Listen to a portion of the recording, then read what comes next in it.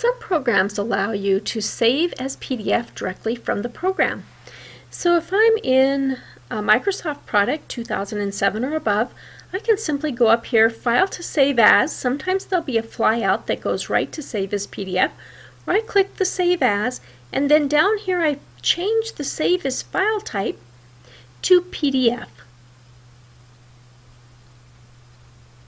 Then I give it a name and navigate to where I want to save it and I have turned my PowerPoint into a PDF or my Word document or Excel.